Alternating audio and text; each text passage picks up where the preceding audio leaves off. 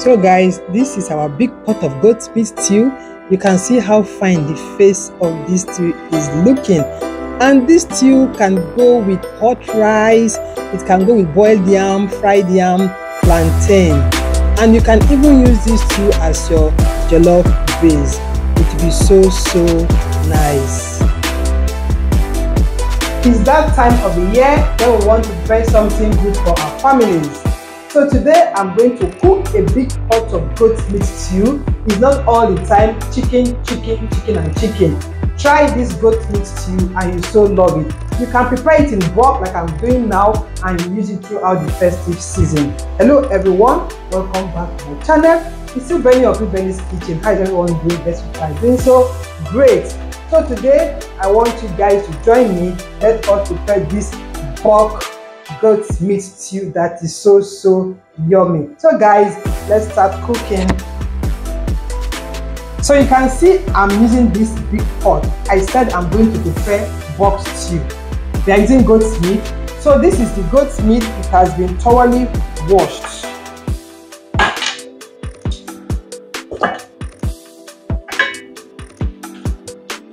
Now i'll add in onions or adding bouillon cube, some salt.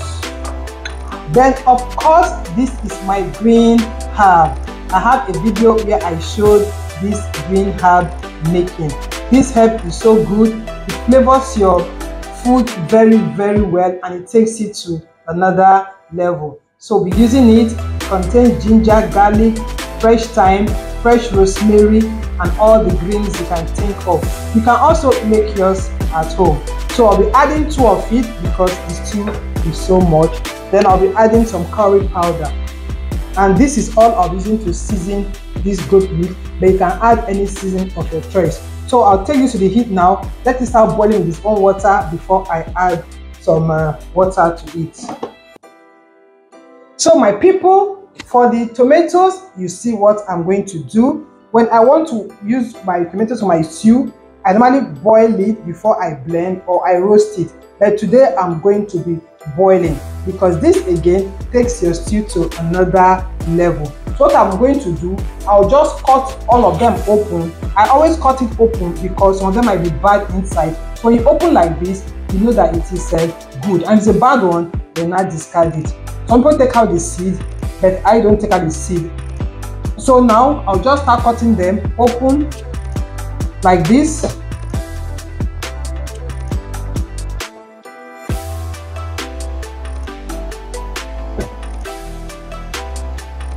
So guys, you can see I'm done cutting the tomatoes into two. So now I'll pour in. So in here I have my peppers, I have my um, tatashe, red pepper, you can see I've taken out the seed because if you don't do that, your stew might get bitter. So I took them out. Then I have some shombo, which is the fresh kind pepper. I'm not going to take out the seed or put them like that. Then I have scotch bonnet pepper. Then I have this yellow pepper. I always like using this yellow pepper because it gives my soup or my stew this scintillating flavor. So I always use it when I'm preparing my stew or my soup. Then I have the onions washed. I'll just pour everything inside the pot and then let it boil down.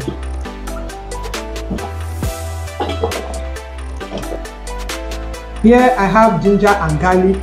They will also boil with the pepper and the tomato. So now I'm done with this one. I'll take it to the gas, let it start cooking while I add some water into the pot of goat meat that is boiling.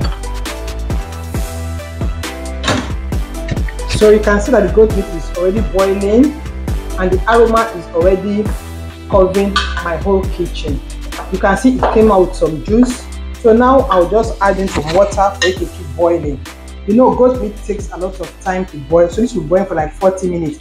But I learned that the male goat boils faster and softer, and then the female goat takes time to boil. And I asked the goat man, the man I was buying the goat meat from, I said, I want the male goat so that he can boil so, so fast. So this is what I have here. And the next 40 minutes, will be done. So guys, this is 40 minutes I've been cooking this goat meat and I tested it and it is cooked so I'll pour them out now so I can start to fry. You can either fry the meat or use your air fryer for this. But I'm going to be frying mine in my oil because I want to use a flavored oil for my stew. So now I just turned out the meat from the pot. I'll allow the pot to dry. Then I'll pour in some oil. Then I'll fry the meat. So the oil is hot now. I'll be adding in these onions, thyme, fresh thyme and garlic. This is for more flavors. So now I'll add in the meat and let it start frying until it is golden brown.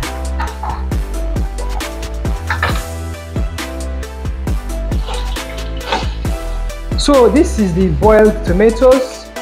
I had to pour it in here for it to cool down before I start blending. So I'll just blend everything now. You have to allow it to cool down a bit so you don't spoil your blender.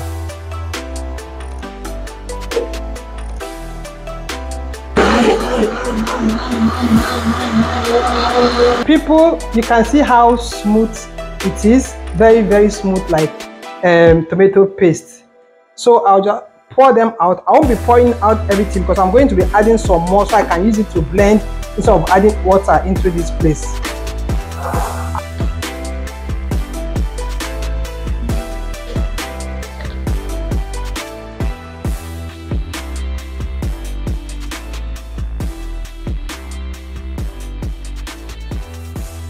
So guys see what we have here the meat is ready, well fried. So I'll take them out and fry the remaining.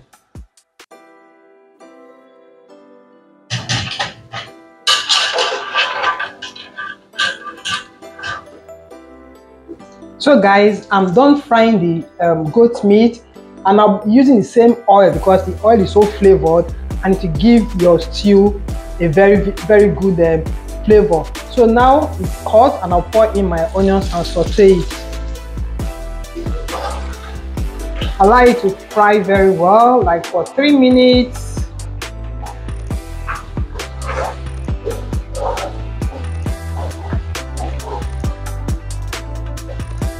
As you are frying the onions, it is releasing more flavors into the oil. I bet you this our goat meat stew is going to be so so amazing.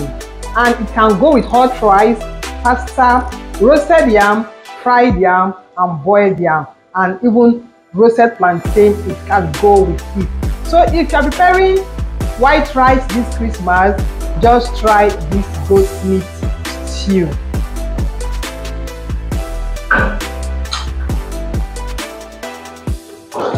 So after frying the onions like this, I'll add in the tomato paste. Allow it to fry until they separate from one another.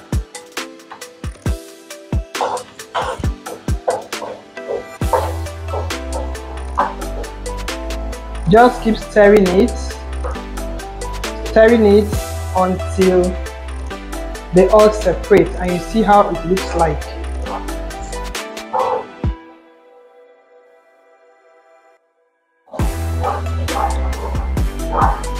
And again we are frying very well to remove that um, tangy taste that will slap you when you are eating if it's not well fried.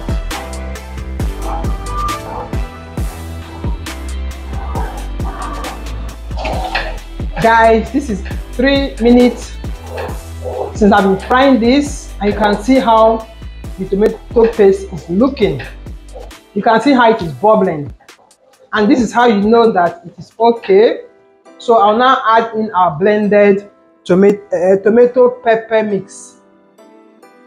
And for this stew, you have to be generous with your cooking oil. We are not boiling the tomatoes, but we are frying. So after frying or after cooking your stew and the oil is too much, you can now take it out and then use it for something else. I tell you, if you remove the excess oil in your food and use for something else. It is so so delicious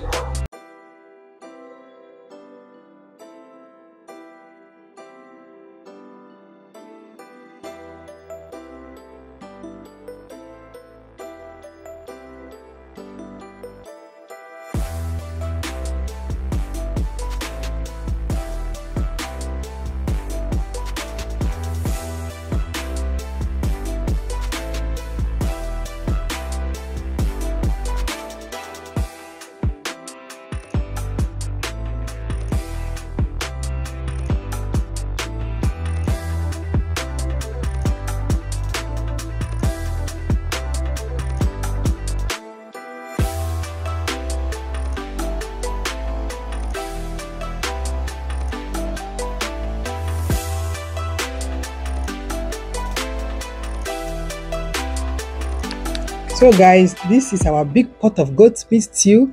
You can see how fine the face of this stew is looking. And this stew can go with hot rice, it can go with boiled yam, fried yam, plantain. And you can even use this stew as your jollof base. It will be so so nice. So my people, I told you I'll be taking my goat meat stew with hot rice. So this is my hot rice and I'm pairing it with my avocado salad. You can see I'm doing portion control. You can see the rice is so small and vegetable is much. So now I'll add my stew. Man, this stew is looking so so amazing.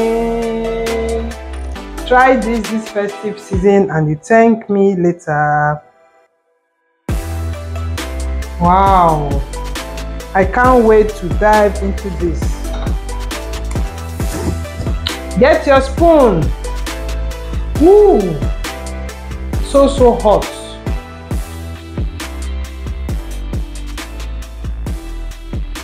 Mmm, mmm. So so yummy. Hmm. Just try this this festive season and thank me later if you have watched up to this moment, thank you so very much. Keep watching my videos and I will see you in my next. Bye bye.